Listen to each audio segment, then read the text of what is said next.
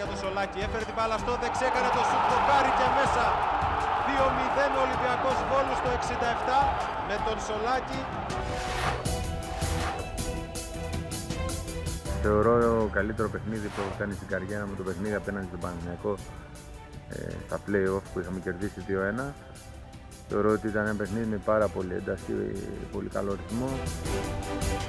Έκτο λεπτό στην επανάληψη του Ζελές, ευκαιρία με το Σολάκη και άλλο δοκάρι, η μπάλα έχει περάσει την γραμμή.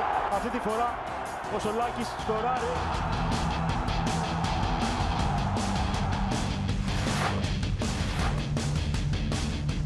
Θεωρώ ότι είναι απέναντι στον Αθηναϊκό σε ένα 3-1 που είχαμε κερδίσει με την Παναχαϊκή. Είχα κάνει και χάτριξ εκείνο το παιχνίδι το 2000-2001 νομίζω. Ήταν ένα γκολ πάρα πολύ δύσκολος σε εκτέλεση γιατί έπρεπε το σώμα να γυρίσει γύρω στις 180 μοίρες για να μπορέσει έτσι να, να γίνει η εκτέλεση όπως θα έπρεπε για να μπει το γκολ. Πασιόπουλος.